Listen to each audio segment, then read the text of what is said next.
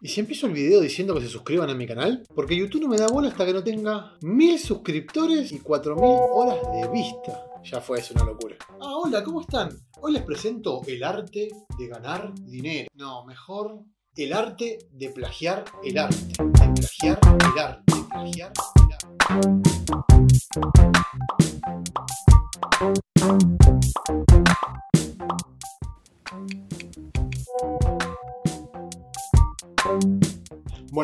Partamos de la base. Entonces, ¿quién es Damien Hirst? ¿De dónde salió?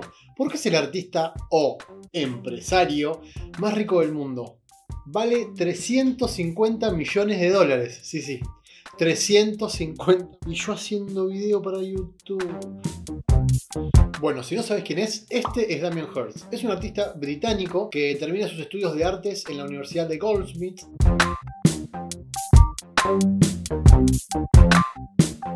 Y en 1990 expone una obra llamada Mil años que constaba de un cubo con una cabeza de una vaca muerta, con muchísima sangre y muchísimas moscas que iban comiendo ese cadáver. ¿Sí? que estaban girando en torno a la vaca muerta dentro de ese cubo. Y a esta muestra, ¿quién asiste? El gran Charles Saatchi. Charles Saatchi era un genio del marketing y la publicidad del momento, era uno de los más conocidos del ambiente. Eh, cuenta la leyenda, cuenta la leyenda, que Saatchi quedó eh, fascinado, anonadado, impactado por la obra de Hearst, eh, que decide comprarla y patrocinarla en todo lo que venía por delante. Y es entonces donde comienza la verdadera historia. O sea, imagínense lo que debe ser que te patrocine una de las mentes más brillantes del marketing de ese momento, o sea, que te dé todo, que tengas todo al alcance de tu mano. Esto se puede ver, por ejemplo, en la obra que se titula, un momentito, La imposibilidad física de la muerte en la mente de alguien vivo. El tiburón informó bueno, ¿qué pasó con este famoso tiburón? Resulta que algunos dicen que habían puesto mal las medidas de formol dentro del tanque, otros que no lo habían disecado antes de ponerlo en el tanque. Lo que sucede es que el tiburón se empezó a arrugar, se empezó a pudrir. Entonces, claro, ese tiburón se había pagado 12 millones de dólares. El dueño dice, se me está pudriendo el tiburón. Conseguime dos o tres tiburones más, por favor. Ahí te das cuenta, digamos, de que es una empresa eh, gigantesca y multimillonaria. Es un negocio multimillonario. Y ni hablar que te reemplazan la obra de arte que compraste. Pero bueno, es arte conceptual, no importa tanto el objeto. Importa más el concepto y la idea. Conseguime dos o tres tiburones más, por favor. Pero bueno, bueno, ya no estamos desviando. Ya es conocido que Damien Hirst no hace sus obras, al igual que Andy Warhol. I think Warhol made it okay for artists to make art on that scale, but you know, people forget that you know factories don't only make dog food. Eh, tiene un escuadrón más o menos de 120 personas a su cargo que se encargan de realizar las obras. Entonces, ¿qué hace Damien Hirst? Pues yo te lo voy a contar. Se encarga de robarles ideas a otros artistas, lo que yo le digo plagio. Algunos pueden decirle apropiación, inspiración, resignificación pero a mí me gusta decirle plagio. Pará, pará, pará, pará, pero esto no te lo digo yo, ¿eh? Lo dice él. Una especie de cleptomanía artística. Así que quédate hasta el final del video y ahí te voy a mostrar y revelar cuando da la cara en una entrevista. Bueno, comenzamos. Primero quiero aclarar que no están en un orden cronológico ni nada por el estilo. Está en un orden que más o menos yo llamo como me dé la gana. En el año 2000, Damien Hirst publica esta obra y un diseñador gráfico, ex investigador llamado Robert Dixon, eh, manifiesta que la obra de Damien Hirst tenía ciertas similitudes a, a, un diseño propio. Entonces, en ese momento, el agente de Damien Hirst le dice, espera, porque Damien Hirst para esta obra se inspiró en un diccionario que se llama el Diccionario de Pingüinos de Geometría Curiosa e Interesante, sin darse cuenta de que en ese libro era donde Robert Dixon había publicado sus diseños, o sea que prácticamente el agente lo mandó al frente y bueno, y tuvieron que hacerse cargo. Bueno, en este caso tenemos tres ejemplos, sí que son de John Lee Kay. John Lee Kay era amigo de Damien Hirst y se dice que le tenía muchísima envidia Damien Hirst a John porque él era muy creativo. Por un lado tenemos la obra de John Lee Kay de 1990 llamada Shin and Shan, y por otro lado tenemos la obra de Damien Hirst de 1996 llamada Him. Hirsch le tenía muchísima envidia a su amigo John, hasta tal punto en 1987 le estaba mostrando un par de imágenes y trabajos propios y le muestra esta que es un cordero crucificado. Y en este momento es donde Damien Hirst se pone muy nervioso, lo empieza a insultar eh, y se va de su casa. Al día siguiente, Tania, la novia de Damien Hirst, lo llama por teléfono a John para ver qué es lo que había pasado y ahí es donde le confiesa que le tenía muchísima envidia porque John era muy creativo. Ocho años más tarde, en el 2005, Damien Hirst expone en el nombre del padre. John Lee Kay ya tenía una producción y una serie de 25 calaveras con incrustaciones de cristales antes de que Damien Hirst produjera esta y la vendiera por 50 millones de dólares. Hay algo medio curioso con los nombres de ambas obras. La de John Lee Kay se llama Spiritus, Piricus, Repilus, Brupitis. Spiritus Calidus, un nombre para el diablo, mientras que Damien Hirst le puso por el amor de Dios. idea for titling it For the Love of God came from my mother, who used to say that whenever I had crazy ideas. For the love of God, what are you going to do next?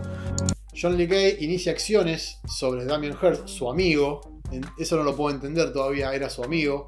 Pero el abogado Damien Hirst compara las imágenes y no ve ninguna similitud ni apropiación de que infrinja los derechos de autor. En 1991 Damien Hirst expone esta obra, sus famosos gabinetes llamados Midway, son gabinetes con fármacos, sin saber que hacía 48 años atrás, o sea en 1943, el artista Joseph Cornell publicaba su obra llamada Pharmacy. Al año siguiente, Damien Hirst hace enormes instalaciones tamaño habitación que también denominó Pharmacy.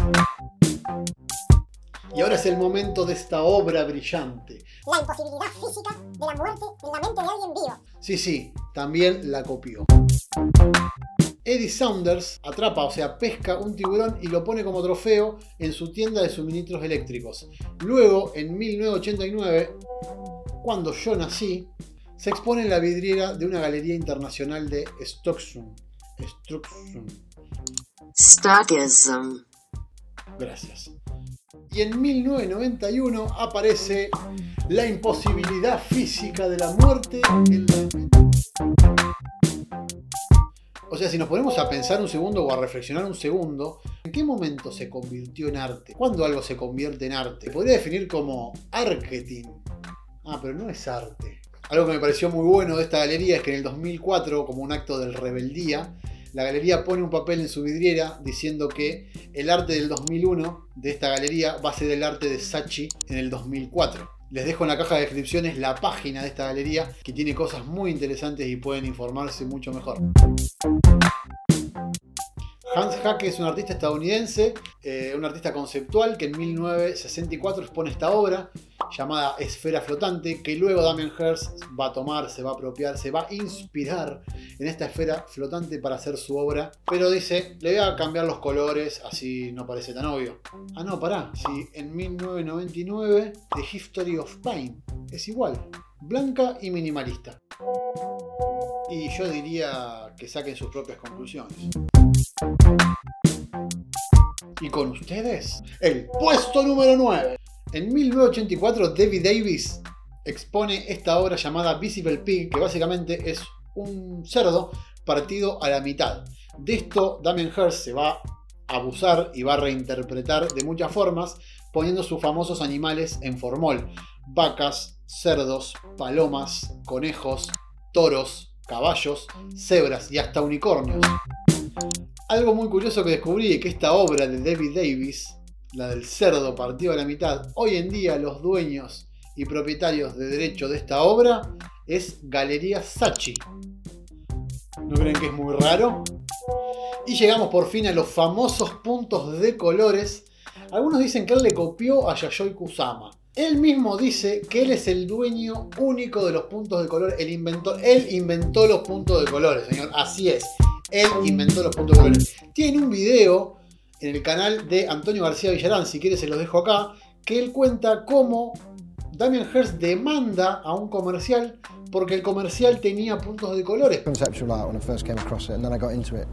Y después está la tercera versión, que es la que yo considero que quizás es la más acertada, que son las cuadrículas de puntos de colores de Thomas Downing, de 1969. Uy, eso que ni hablamos ni de las mariposas, ni del spin art, ni del tesoro subacuático de la Bienal de Venecia. si hay información. Espera que voy a anotar que creo que voy a hacer un segundo video. Y ahora, lo importante, cuando Damian Hirst da la cara. En esta entrevista en The Times que le hacen a Damian Hirst, te voy a leer textual. Te lo dejo también en la caja de descripciones para que la puedas leer completa. Dice, veo buenas ideas y las robo. Prácticamente lo que hace es decir la verdad y justificarse, pero de una manera también echándole la culpa a otro. Porque un profesor en la universidad le había dicho que no tome buenas ideas o que no tomes ideas prestadas, sino que róbalas. Le echa la culpa a un profesor y también menciona al gran Picasso diciendo los buenos artistas copian, los grandes roban. O sea, lo que hace es justificarse básicamente. La verdad, y lo que yo pienso de este artista es que son obras básicamente con poco contenido artístico, son bastante vacías. Sí toca temas polémicos, que eso es claramente por qué él es tan conocido y tan popular. todos hablan de él porque, claro, pone animales en formol. Eso claramente genera un debate. Además, también lo que hace es crear discusiones o te hace pensar, pero por lo menos un instante, porque a los cinco minutos ya ese debate deja, ese debate que tienes en tu cabeza deja de, existir. Por ejemplo, vos ves la obra como espectador, vas a ver el tiburón, ese tiburón famoso, e, esa cosa enorme adelante de tus ojos. Sabés que es un tiburón en formol y lees el título, pensás, pensás, pensás un poco y después ya está. Es como te hace reflexionar con esos títulos tan polémicos, tan rebuscados, pero dura poco. Está claro y está muy claro que son obvios, son negocios millonarios, son estrategias de marketing increíble. Está la compañía Sachi que hoy tiene la galería, que es Sachi Gallery, eh, que se encarga de que todas las obras salgan en todos los medios de comunicación, que recorran varios países, que tenga una, una visibilidad increíble, que hasta, por ejemplo, la obra del tiburón eh, la pidió el MIT Museum. O sea, estamos hablando de uno de los museos más conocidos del mundo que pida una obra. ¿Y por qué pide esa obra? Porque está dando que hablar en todos lados.